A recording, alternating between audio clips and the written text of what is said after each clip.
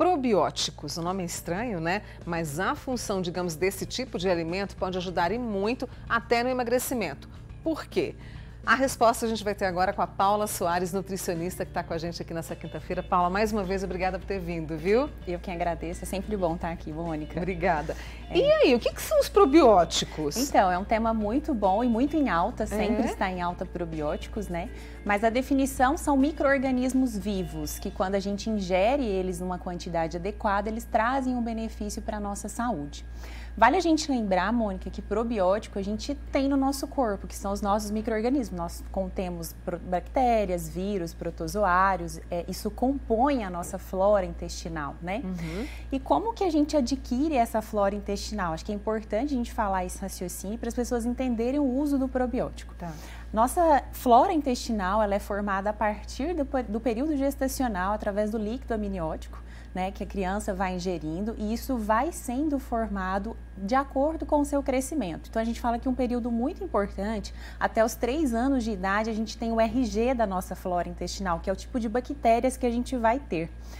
E isso é modificável ao longo dos anos. Por quê? Porque a gente cresce, né? a gente muda a alimentação, o lugar que a gente vive, a idade, tudo isso vai influenciando o tipo de bactérias que a gente vai tendo. Uhum. E, e é importante a gente ter uma diversidade, porque quanto mais diversidade de bactérias a gente tem ali no nosso intestino, melhor para a nossa saúde em geral. Então a gente fala que quando a gente tem o intestino, né, com a saúde intestinal adequada, a gente está num quadro de eubiose, está tudo em equilíbrio. O problema é quando isso começa a ter um desequilíbrio, que a gente denomina o quadro de disbiose intestinal. Uhum. Então a gente começa a ter mais bactérias ruins no nosso organismo e menos bactérias boas, e isso vai causar o quê? Então a gente fala muito a analisar sinais e sintomas. Então, às vezes a pessoa que fica mais cansada, perde concentração, atenção, foco, o aumento do peso, falta de saciedade. É, então, tudo isso pode ser sintomas de uma disbiose. E aí uhum. entram os probióticos para auxiliar na saúde. A gente já vai te mostrar quais são esses probióticos, tá? Você falou, é muito importante isso, quer dizer, desde o período gestacional e vai se construindo essa microbiota, certo? Isso. E agora, nesse momento em que a grande maioria tem uma saúde intestinal não lá muito boa, ainda há tempo de chegar à eubiose? Sim, sempre há tempo. É, um dos pontos mais importantes para a gente mudar a nossa flora intestinal é a alimentação. Hum. Então, a, a, por quê? Porque a gente vai criando esses tipos de bactérias que vão estar ali, benéficas ou não. Então, por isso que a gente orienta uma alimentação muito rica em fibras, que é composta né, por cereais, vitaminas, é, muito, muita hidratação. O sono também é muito importante para o controle dessa microbiota microbiota intestinal e atividade física. Exercício físico, Mônica, ele é super importante para mudar esse tipo de bactérias que está ali, por aumentar o fluxo sanguíneo e trazer mais bactérias boas ali para a nossa saúde. Quer fazer uma pergunta para Paula? Porque essa conversa está muito boa. 99897 é o nosso WhatsApp. E a gente também está lá no YouTube, viu? Pode deixar seu comentário lá que o pessoal me manda. E aí, a Paula organizou para a gente em quais alimentos nós temos os probióticos. Eu queria pedir ao pessoal que colocasse aí para gente, para que você já possa incluir. Aí a gente tem, é o kefir? A gente tem o kefir, Isso, o é, iogurte natural. A gente tem o kefir, o iogurte natural, nós temos a coalhada, que são fontes de probióticos, ou seja, tem esses lactobacilos vivos ali, né? Hum. Vamos lembrar, Mônica, que lactobacilos probióticos, eles não são iguais. Então, assim, é muito importante, existe o comportamento de cada microorganismo que ele vai fazer no corpo.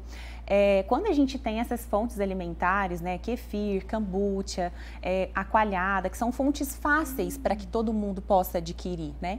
É, é, importante colocar na alimentação, mas eu vou só fazer uma ressalva, é que é muito importante o tipo de conservação desse alimento, porque a gente está falando de bactérias vivas. Então, a maneira como você transporta, né, ah, vou colocar no supermercado e eu vou rodar o supermercado inteiro para depois eu ir para casa. Então, assim, é sempre pegar o último, né, para ir embora.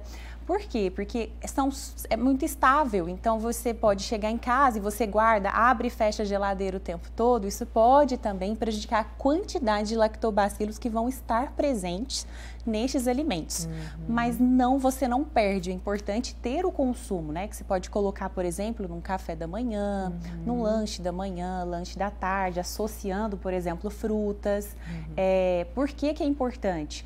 que a gente tem os probióticos nesses alimentos, mas a gente precisa dos prebióticos, que é para alimentar essas bactérias que estão no nosso intestino. Quem são os prebióticos? São as fibras.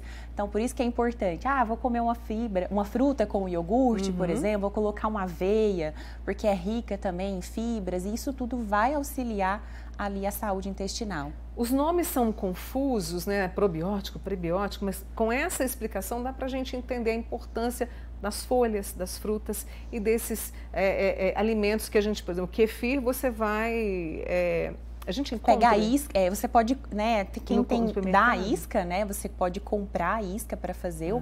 mas é muito importante a higienização do lugar, né, aonde você vai conservar esse probiótico, essa isca, porque a gente está hum. falando de micro-organismos vivos, vivos né? e a gente precisa ter um cuidado, uma cautela muito grande ao manipular esses alimentos. Eu tenho a Érica do Custódio Pereira aqui pertinho da gente, está sempre ligada, Érica, um beijo. Ela tem intolerância à lactose, descobriu há dois anos, tomou o probiótico quando descobriu, né? Tomei, ela falou que tomou de farmácia. Quando tomar novamente? É, o probiótico a gente pode fazer um tratamento com o paciente que são, na verdade, a manipulação de algumas cepas específicas. Por isso que eu te falei que nem pro, probiótico não é todos iguais. Uhum. Então a gente tem uhum. probióticos que vão atuar diminuindo sensibilidade alimentar, intolerância à lactose, é, probióticos para auxiliar na obesidade. Então hoje se existem já fórmulas específicas que a gente pode fazer um tratamento agudo ou crônico. A gente não vai usar o probiótico é, manipulado, por exemplo, para o resto da vida.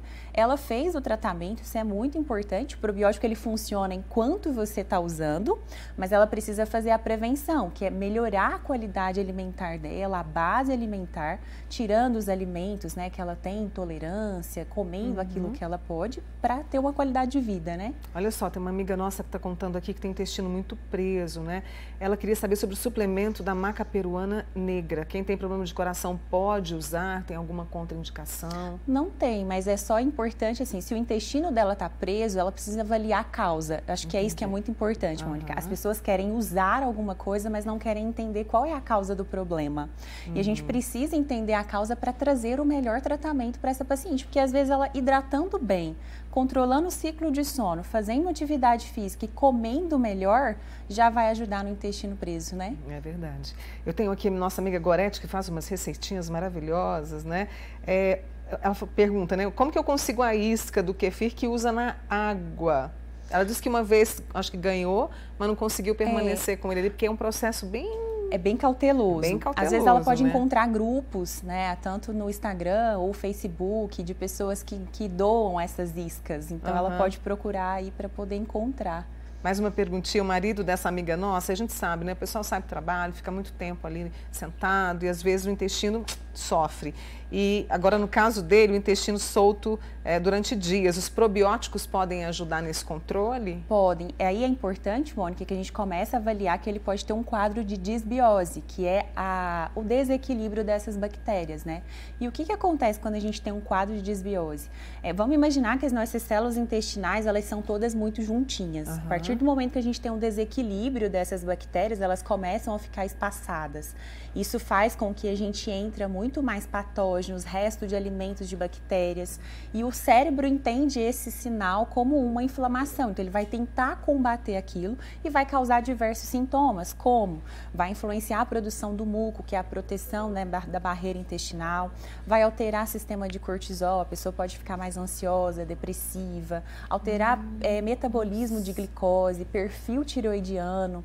Então tudo isso influencia, inclusive, por exemplo, um quadro de diarreia. Então, o probiótico uhum. Pode ajudar, mas também avaliar a causa dessa diarreia. Às vezes ele tem uma síndrome do intestino irritável, né? Exatamente. Pacientes que são ansiosos, né? Também tem essa descarga emocional no intestino, Nossa. porque tem uma ligação eixo-intestino direta. O intestino é o nosso cérebro também. É o né? nosso segundo cérebro e é o que tem sido maior estudado hoje dentro da nutrição como causas, né, de algumas doenças, como diabetes, resistência insulínica, obesidade, porque o obeso ele tem um perfil de microbiota completamente diferente com menos saciedade, por exemplo.